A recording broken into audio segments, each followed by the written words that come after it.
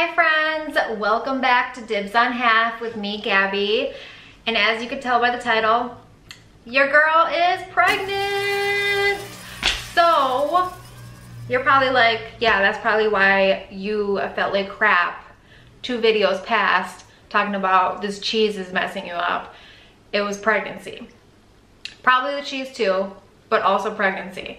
So, how me and Jesse found out I was pregnant We've been trying and I took a pregnancy test a couple weeks ago not knowing that you need this like HCG hormone to be released when something happens inside of you but it takes a really long time so you can't really tell if you're pregnant until like literally right before you're about to get your period. So I took it way too early.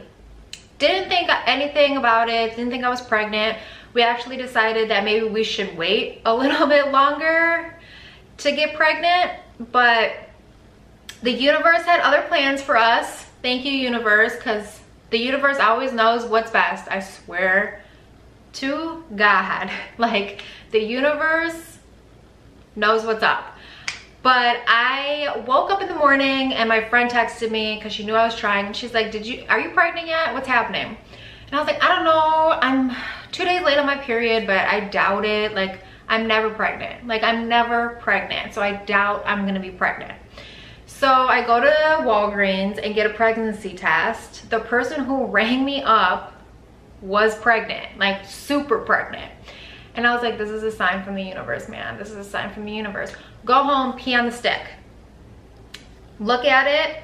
Instantly, the line shows up. It was like a plus and a line some I have like the two lines, but mine was supposed to have a plus sign and a circle and then an extra line over here. So saw the two lines right away and I was like, okay, I'm not pregnant, not shocked. Leave the bathroom, come back, like literally five seconds later, look at the pregnancy, pregnancy test and I'm just like, how? Like, no, there's no way. I'm seeing this wrong. This can't be right. Like, there's no way I am pregnant. Like, it's just so weird. Called my husband, told him I was pregnant. Called my friend who had texted me earlier and she's like, come over. I'm like, girl, look at this. Like, is this real? She's like, yes, you're pregnant.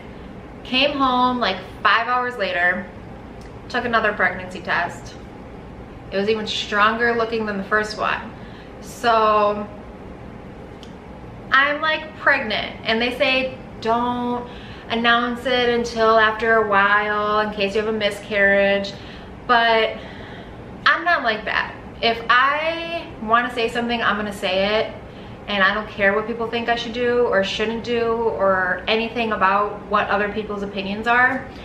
So I'm going to announce it. And if I happen to have a miscarriage, I'll talk about it. Because I think to myself, like, if I have a miscarriage and I didn't know anybody else who had a miscarriage, I would feel like this isn't normal, it's only me, like I would feel so alone. So the more people talk about miscarriage, because they happen all the time, the less people are gonna feel like horrible. Like yeah, it's still a horrible experience. I can't even imagine it happening, please Jesus. But I don't even wanna speak it into existence. But I feel like it's something that more people should talk about. But anyways, on to a brighter subject. I just made this video because I wanted to come on here and make an announcement before I start cooking. I tried to make a cooking video this morning and what I made was bomb. I might make it for my next video. Not even gonna tell you what it is, it'll be a surprise. So hit that subscribe button so you don't miss it.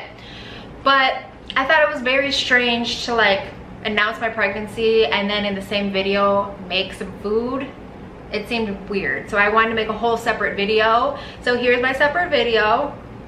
I'm pregnant and I haven't really been having any cravings this morning. I was hardcore craving orange juice. Like orange juice, I had to have orange juice.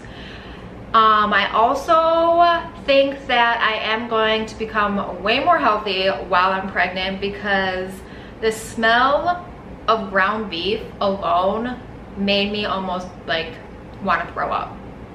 Like, I think I'm gonna stay away from pork and I think I'm gonna stay away from beef, lamb as much as possible. and I'm still gonna eat chicken, fish, but I have been staying away from meat a lot more. I've been eating eggs and stuff and I've been eating a lot, a lot, a lot, a lot of beans. So look, look forward to some bean recipes in your future.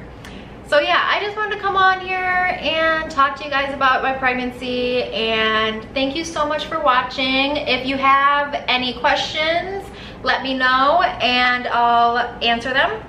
So yeah, thank you so much for watching. I'll see you in my next video where I'll actually be cooking. Bye.